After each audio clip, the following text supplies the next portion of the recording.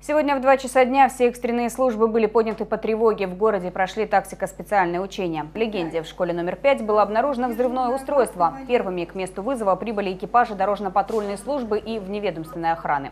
Они блокировали подъезды к зданию и эвакуировали людей из учреждения. В считанные минуты начали подъезжать и другие экстренные службы – пожарные, спасатели, врачи скорой медицинской помощи. Незамедлительно прибыли и дополнительные силы отделения Министерства внутренних дел. Полицейские оцепили территорию, а сотрудник, прошедший специальную подготовку, обезвредил взрывное устройство. Обнаружено взрывное устройство, э, уничтожено на месте. Опасности не представляет. Всем сотрудникам, задействованным в учении, отбой.